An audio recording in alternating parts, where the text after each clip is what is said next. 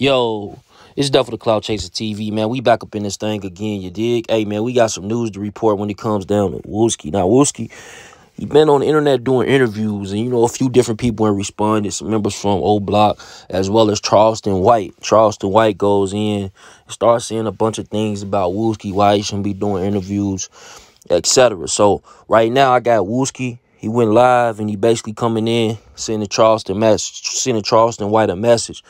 You know what I mean? So y'all listen to it. Get in the comments and let me know what you think. Step for the Clout Chaser TV. Gang. No, man.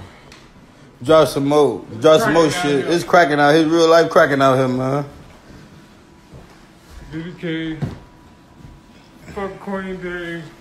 Tell Charleston White, man, he found the right motherfucker, man. Better get your old cockeyed crack kid looking ass something to fucking day, dog. Blew his dumb ass down.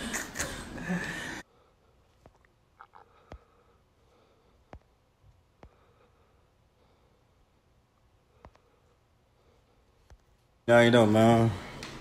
Drop some more. Drop some more shit. It's cracking out. His real life cracking out here, man. DDK. Fuck Queen Day. Tell